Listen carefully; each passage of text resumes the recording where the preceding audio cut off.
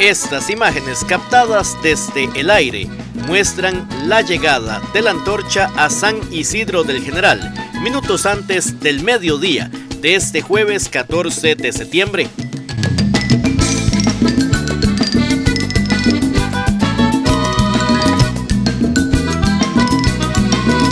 Se respira en esta noche un olor a carnaval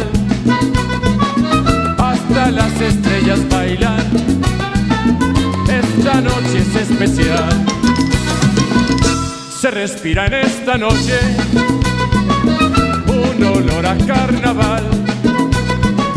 Hasta las estrellas bailan. Esta noche es especial. Quiero que vengas conmigo y vivamos la emoción. Solo mueve tus caderas y usa tu imaginación. Quiero que vengas conmigo y vivamos la emoción.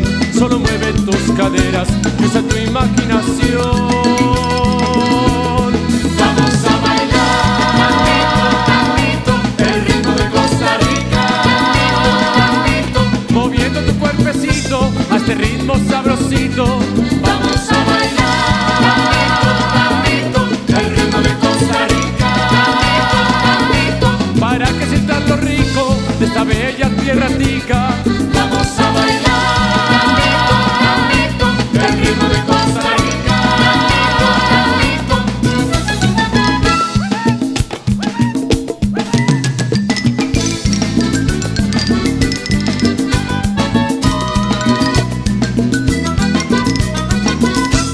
La noche del tambito, noche llena de placer vibrando mi cuerpo, buscando el amanecer. Quiero que vengas conmigo. Estudiantes, docentes y público disfrutaron de la llegada del fuego de la independencia en estos 202 años. La llegada en medio de la energía de los jóvenes.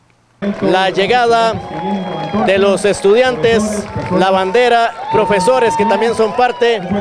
Y ahí está la celebración de los 202 años de vida independiente de nuestro país con la llegada de la antorcha aquí al Parque de San Isidro de El General. El himno nacional.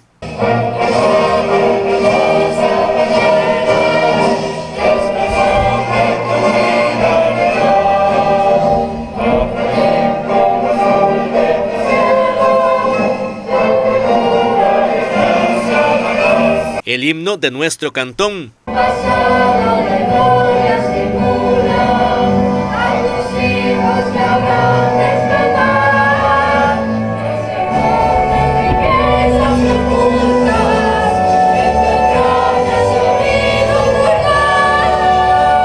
La patriótica costarricense que no podía faltar.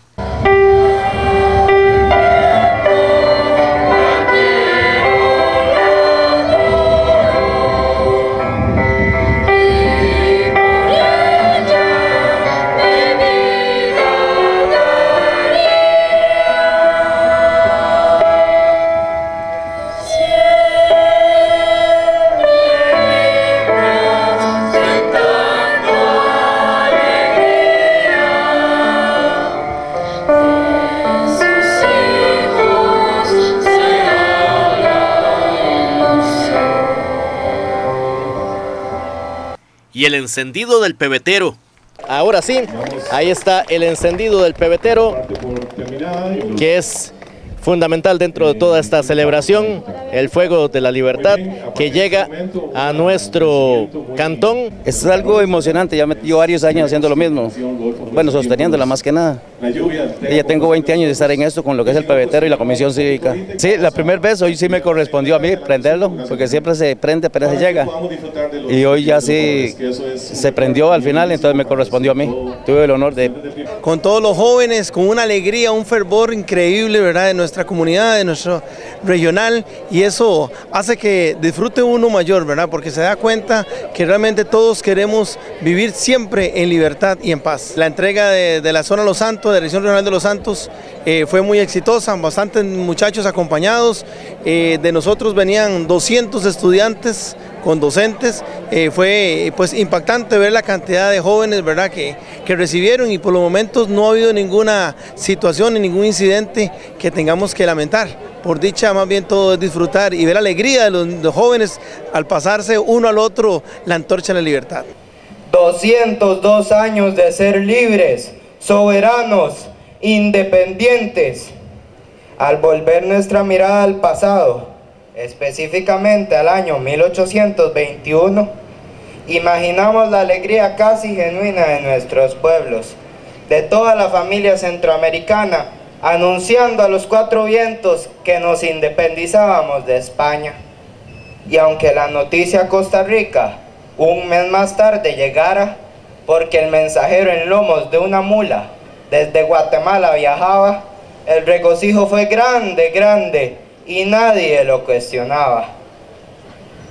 Y entonces empiezan las dudas, que si la vida deprisa y constantemente apurada, con segundos muy controlados y caras siempre estresadas, será al final del camino una ganancia garantizada que si fue bueno o malo dejar la madre patria y que las causas donde las clasificaban, que si eran sociales, políticas, económicas, religiosas o comerciales, han generado debate sin que esto la gesta opaque.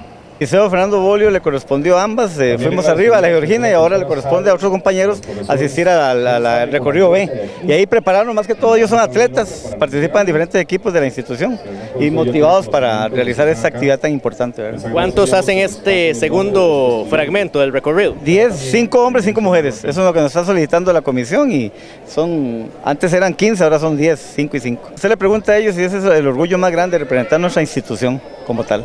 La fiesta patria comenzó este jueves con la llegada de la antorcha desde la Georgina hasta San Isidro del General.